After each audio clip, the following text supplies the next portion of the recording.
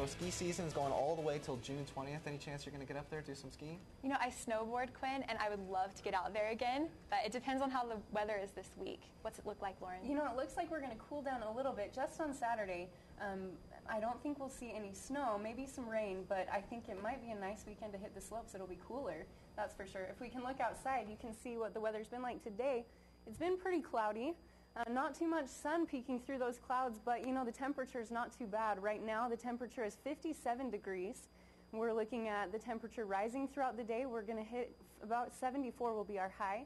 We've got humidity of 51% and no winds right now. So it's a nice day to be outside. Today's probably going to be the warmest we'll see in northern Utah. If we look at what's going on around the nation, we have some snow and a lot of rain along the west coast. This storm is bringing the temperatures on the west coast down about 15 degrees below the average temperature right now. And that storm is just being pushed east towards Utah. And we'll talk about how, um, how it's going to affect Utah in just a little bit. Right here in the plains, we have rain and thunderstorms and some scattered showers right here, severe thunderstorms. And if those storms get any worse, we're looking at some possible tornadoes actually in the Midwest. And here in the northeast, you can see we also have some thunderstorms possible up there. But if we switch to our satellite map, we can see that in the next 24 hours, those storms are just going to be dispersing. And we'll be looking at if they get severe, there's actually going to be some damaging winds and hail. Um, so you'll have to watch out for that in the northeast. But if we look closer at the west right now, we have this storm is the one that's on its way to Utah right now. In the next 24 hours, you can see it'll hit the the state of Utah about 24 hours from now, and we're looking at some scattered storms tomorrow, mostly on Saturdays when we'll see the rain.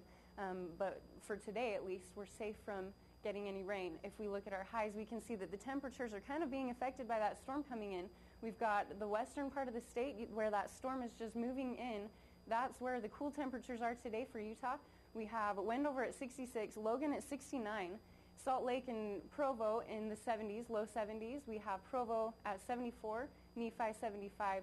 St. George, our warm spot, down at 85 degrees, and we're looking at warm weather and also dry weather. They won't be seeing that rain that we'll see up in the northern parts of the state. If we look at the forecast for the next few days, we have 85 degrees today, 87 tomorrow. It's going to cool down Friday when that storm is on the northern part of Utah, but then we'll see the coldest temperature is Saturday. It's still sunny though down in southern Utah, and it warms back up for a nice Memorial Day weekend on Sunday. And as for the Wasatch, we have nice temperatures today, 76, 78 tomorrow. We're cooling down and we'll see a little bit of rain on Saturday, but it looks like our plans for Memorial Day weekend are not going to be rained out.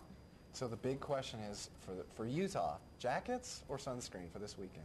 You know, Quinn, it kind of depends on where you're going to be. I'll be in St. George this weekend, so I'm going to be wearing sunscreen it definitely sounds like you need to head out of town to get some warm weather this weekend. Yep. That's the plan. Got to get out, get that sun.